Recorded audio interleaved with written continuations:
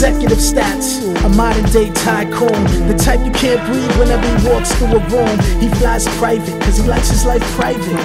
Airport in the cut, fresh off the Learjet jet. Domino effect getting banged. His mindset stays high ranks. Summer crib by the lake. Mountain his view off the balcony too.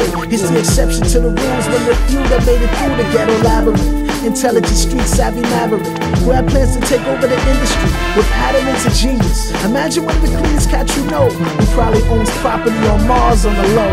Yo, Put nothing past him, network is massive. From Joe Schmo cast the most legendary classic. Plastered all over the wall for art collector.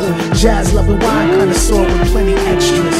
Tycoon is just to me like a a person that owns more than one business and not a person that raises the money. It's the person that cuts the check. So you know they're saying, use other people's money? The tycoon is the other people. I'm the other people. That's why, you know I mean, I'm not a Never go corporate on some independent forfeit. Wave of the future, confidence booster. Against all odds, the powers remain.